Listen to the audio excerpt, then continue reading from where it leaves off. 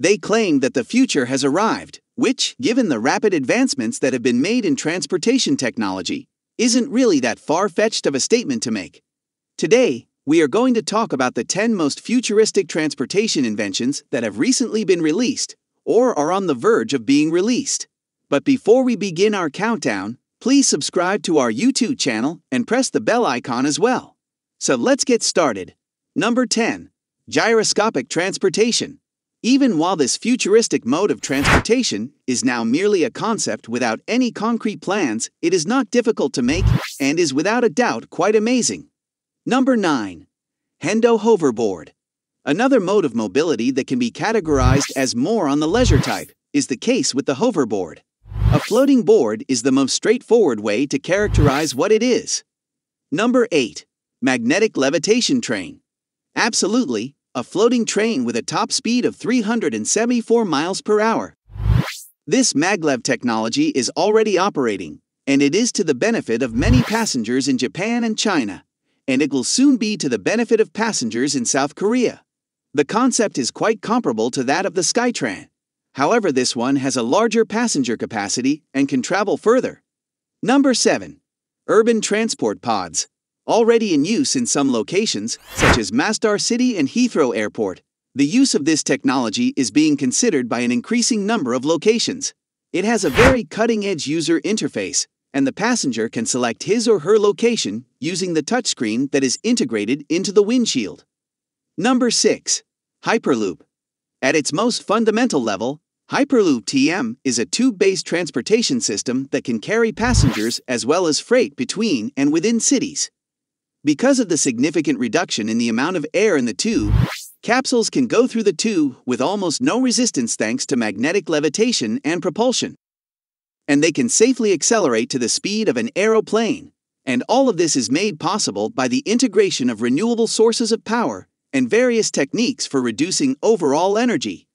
Number 5. Honda U3X. Yes, it's another unicycle, and it's another cool one at that. This little one is only 10 kilograms and has a running time of 1 hour when the battery is fully charged. It has a top speed of 4 kilometers per hour and is equipped with a hot drive system, also known as an Omni wheel. Number 4. Onewheel. This one is not solely for the purpose of transportation, but rather for leisure as well. It's essentially a skateboard, but with less effort required to ride it. Lithium ion batteries power the vehicle, which has a range of 11 kilometers on a single charge.